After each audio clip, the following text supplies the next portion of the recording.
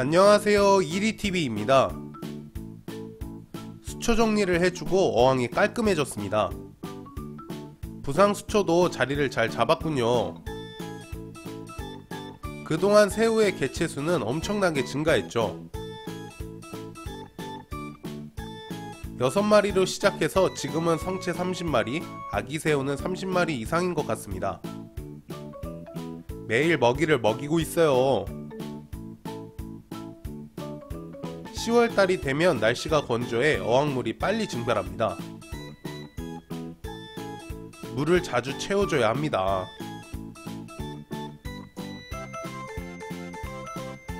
수초 어항이 오래되면 분진이 많이 생겨 어항이 탁해집니다. 새우 개체가 증가로 이런 안개가 발생하는 경우가 많죠. 시간이 지나면 사라지는데요. 어항 내부가 잘 안 보이니 불편한 느낌도 듭니다.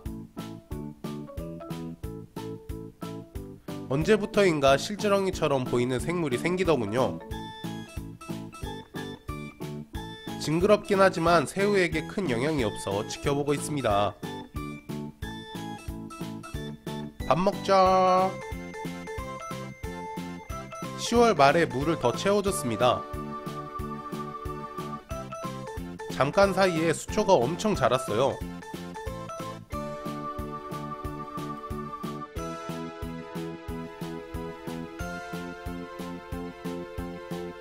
물을 넣을 때마다 분진이 상당히 심하게 날립니다.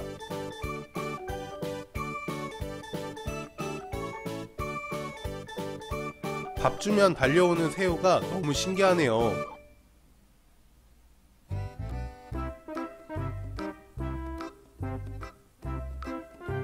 11월이 되었는데요. 오늘도 물을 채워줍니다.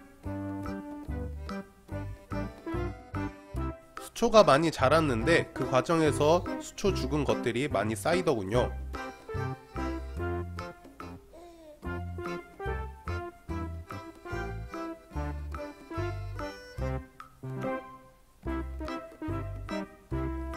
새우들이 벽에 붙어 있습니다. 자주 보이는 행동이 아니라 관찰을 해봤어요. 모여있는 모습이 귀엽네요. 12월부터는 수초가 엄청 빠르게 자라더군요.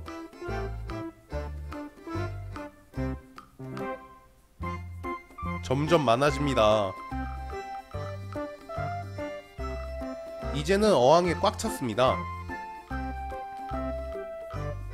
수초가 너무 많아서 정신이 하나도 없네요. 내부에 수초가 많아지면 중간에 잎이 사라지는 경우가 있습니다. 빛을 많이 못 보면 잎이 죽어요. 새해가 찾아오고 어항 대청소를 해주기로 했습니다. 부상수초는 소량을 남기고 빼줄 생각입니다. 부상수초만 100촉은 넘을 것 같네요. 부상 수초가 빛을 차단해 다른 수초들의 성장을 방해하더군요.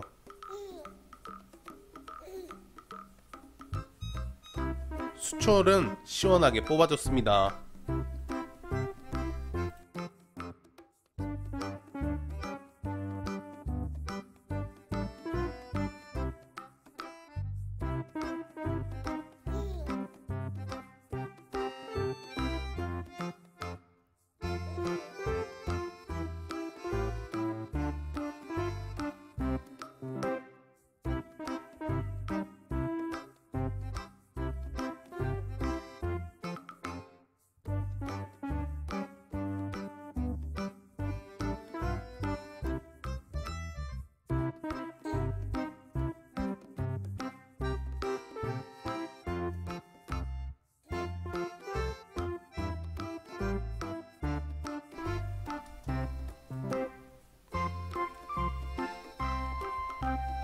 어항에 있던 돌은 다 없애줄 거예요.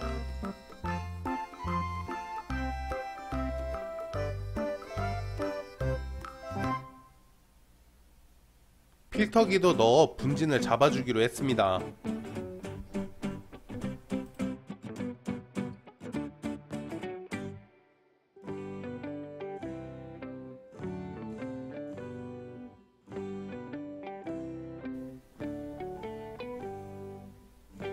분진이 사라지는 동안 수초를 골라줘야 해요. 부상 수초는 건강한 친구들 3촉씩 넣어주는 것이 좋아요. 중견 수초는 마디를 잘라 심어주면 됩니다. 잎이 상한 수초는 잎이 없는 쪽을 잘라주시면 됩니다.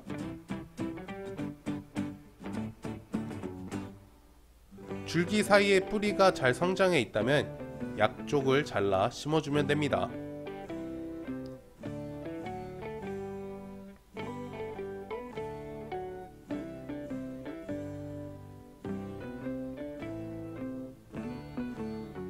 준비된 수초를 심어줄게요. 높게 자라는 수초를 뒤에 심어주고 낮게 자라는 수초는 앞에 심어주면 더욱더 좋아요.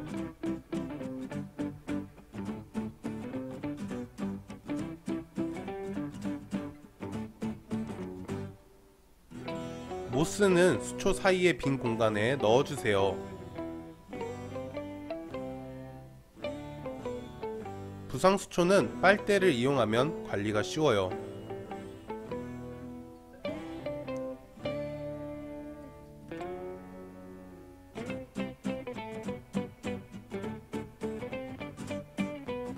수초를 심으면 새우가 정리를 해줍니다.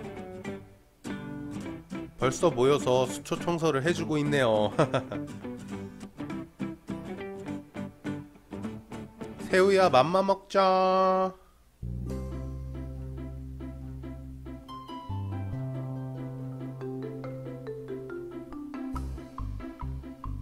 신기하게 새우는 밥 넣어주면 귀신같이 알아요. 멀리서 달려오더군요.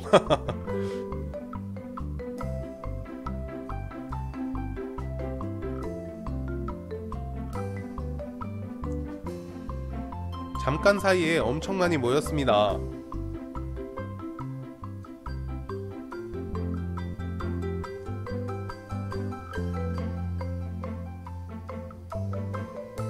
수초가 다시 성장하려면 시간이 걸리겠네요. 앞으로도 재미난 영상으로 찾아오겠습니다. 여러분들 안녕.